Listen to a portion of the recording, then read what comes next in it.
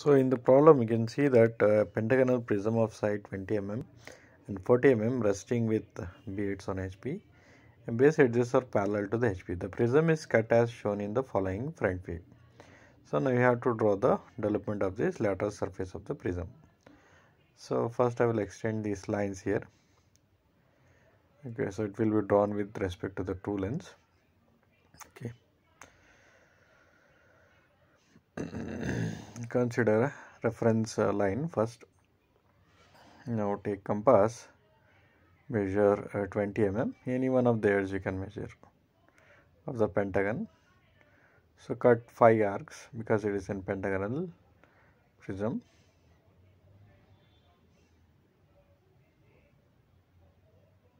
okay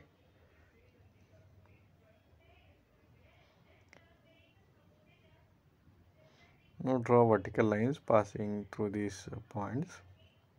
Cutted points.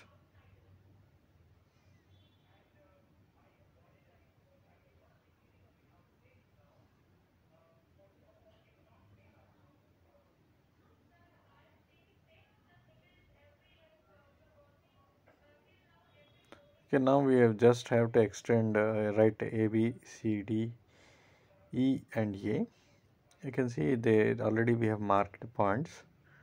Okay just we need to extend. So i will extend the one till a line. Here that is one. Similarly i will extend the two point on a line b. Similarly i'll be writing uh, point number three.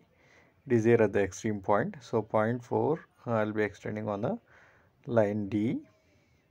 Okay and 5 I'll be extending on a line E here. Okay thin lines you need to draw here. And then point number one again I will have to show it on the A point here. So now I will we will be joining with a thick line. So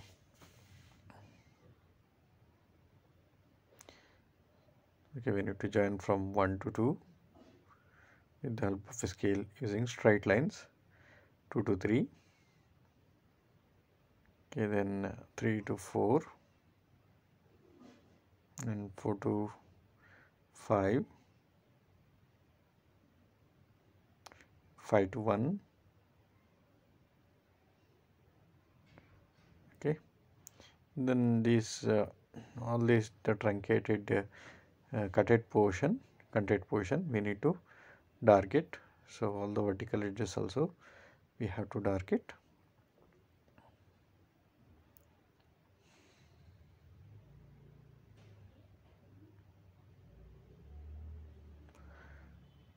Okay. So that is one. So this completes the problem